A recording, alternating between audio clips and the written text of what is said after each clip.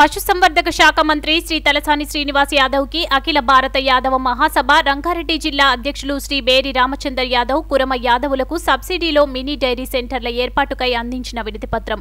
శ్రీయుత గౌరవనీయులైన శ్రీ తలసాని శ్రీనివాస్ యాదవ్కి పశుసంవర్ధక శాఖ సినిమాటోగ్రఫీ మినిస్టర్ ఆఫ్ తెలంగాణ రాష్ట్రం.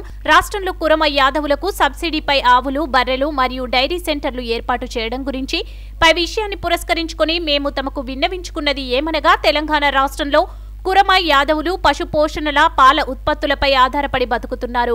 కావున ప్రభుత్వం వీరిని గుర్తించి బీసీ సామాజిక వర్గానికి చెందిన యాదవులకు బీసీ కార్పొరేషన్ నిధుల ద్వారా మినీ డైరీ సెంటర్లు ఏర్పాటు చేసి నిరుద్యోగ యాదవ యువకులకు అందులో ఉపాధి కల్పించాలని పాడి పరిశ్రమపై జీవనం కొనసాగిస్తున్న యాదవ కుటుంబాలకు సబ్సిడీపై ఆవులు బర్రెలు పంపిణీ చేసి సదరు కుటుంబాలను ఆదుకోవాల్సిందిగా మా యొక్క విన్నపం. మాయందు దయతల్చి యాదవుల శ్రేయస్సుకై చర్యలు తీసుకోగలరు. పై విషయానికి మంత్రి సానుకూలంగా స్పందిస్తూ కురమ యాదవుల సమస్యలను సీఎం కేసీఆర్ దృష్టికి తీసుకెళ్ళి బీసీ కార్పొరేషన్ నిధుల ద్వారా డైరీ సెంటర్లు ఏర్పాటు చేసి కురమ యాదవుల నిరుద్యోగ యువతకు లబ్ధి చేకూరే విధంగా కృషి చేస్తానని హామీ ఇచ్చారు. ఈ కార్యక్రమంలో బేరి శ్రీనివాస్ యాదవ్ కడమూరి శ్రీనివాస్ యాదవ్ మాధారం చంద్రయ్య విజయ్ కుమార్ యాదవ్ విక్రమ్ యాదవ్ మరియు జిల్లా యాదవ సంఘం నాయకులు సభ్యులు పెద్ద ఎత్తున పాల్గొన్నారు.